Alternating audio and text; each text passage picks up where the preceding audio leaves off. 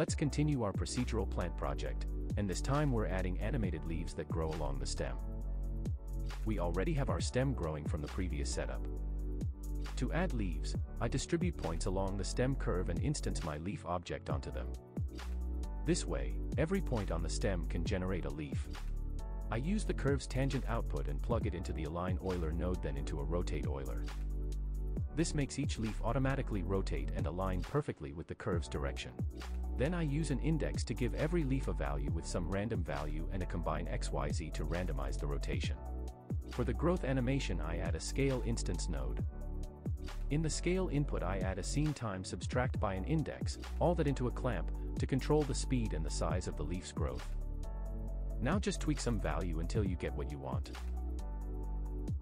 And just like that, our plant feels alive, a stem with leaves that grow dynamically, all fully procedural.